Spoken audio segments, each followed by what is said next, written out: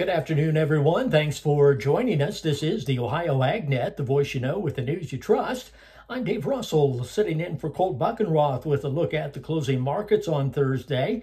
It was a mixed day at the Board of Trade. Corn and wheat both higher, soybeans lower. December corn 562 and three quarters, up five and a half. March up five and a quarter at 571 and a quarter. November soybeans down five and a half at 1233 and three quarters. January beans down three and three quarters at 1246.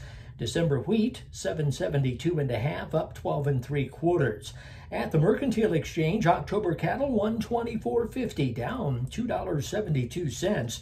December hogs up $3.22 at 75.20. November feeder cattle Thursday down 82 cents at 157.65.